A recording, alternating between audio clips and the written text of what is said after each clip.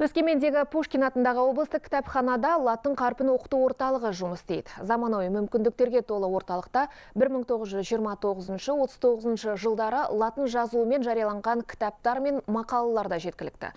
Жаңа әліпбиді үйренуге құштар өскемендіктер осында жиі бас қосады.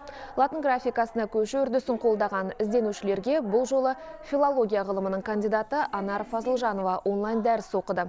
Сөйтіп көпшілік аталған тақырыпқа қатысты сауалдарына толымды жауап алды шығыс қазақстан облыстары бойынша көшпелі семинар ұйымдастыру мақсатымыз бар.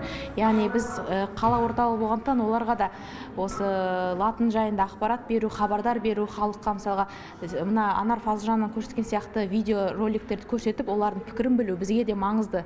Сонымен қоса мен латынды қолдаймын жәнегі хэштегтер арқылы қала тұрғындарына оларға жарнамалық түрде сияқты күнтізбелік латын әліпбиімен жасалған қағаздар тарату да қазіргі кезде жасалып жатыр.